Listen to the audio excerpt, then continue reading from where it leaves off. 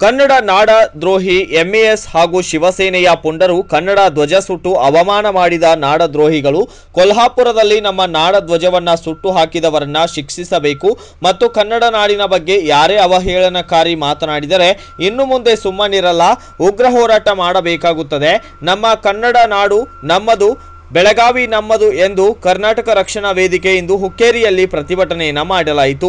Hukkeri bus ನಿಲ್ದಾಣದ ಎದುರಿಗೆ ಟೈರ್ಗೆ ಬೆಂಕಿ ಹಚ್ಚಿ, ಶಿವಸೇನೆ ಮುಖಂಡನ ಭಾವಚಿತ್ರಕ್ಕೆ ಬೆಂಕಿ ಹಚ್ಚಿ ನಾಡದ್ರೋಹಿಗಳ ವಿರುದ್ಧ ಆಕ್ರೋಶವನ್ನು ವ್ಯಕ್ತಪಡಿಸಲಾಗಿದೆ. ತಾಲೂಕಾ ದಂಡಾಧಿಕಾರಿಗಳ ಮೂಲಕ ಮನವಿ ಪತ್ರವನ್ನು ರಾಜ್ಯಪಾಲರಿಗೆ ಮನವಿ ಸಲ್ಲಿಸಲಾಗಿದ್ದು, ಕರ್ನಾಟಕ ರಕ್ಷಣಾ ವೇದಿಕೆಯ ತಾಲೂಕಾ ಅಧ್ಯಕ್ಷ ಪ್ರಮೋದ್ ಹೊಸಮನಿ, ಘಟಕದ ಅಧ್ಯಕ್ಷ ಪ್ರಮೋದ್ ಕೋಗೆ ಪ್ರದೀಪ್ ಶಾಂತಿನಾಥ್ ಬಸವರಾಜ್ ವಿಜಯ್ ಶಿವಪ್ರಸಾದ್ ಸೇರಿದಂತೆ ಇನ್ನಿತರರು ಭಾಗಿಯಾಗಿದ್ದರು bureau report Shivaji N Baleshgol Bharat Vaibhav news Hukkeri Thanks for watching. Read, discuss, and debate with editor Dr. Yan Prashant Rao. Wanted reporters in print, digital, and visual media for Bharat Vaibhav Daily newspaper, BV News channel, and BV Fast Web News from all the talukas of Karnataka. If interested, send your resume to 9482633333.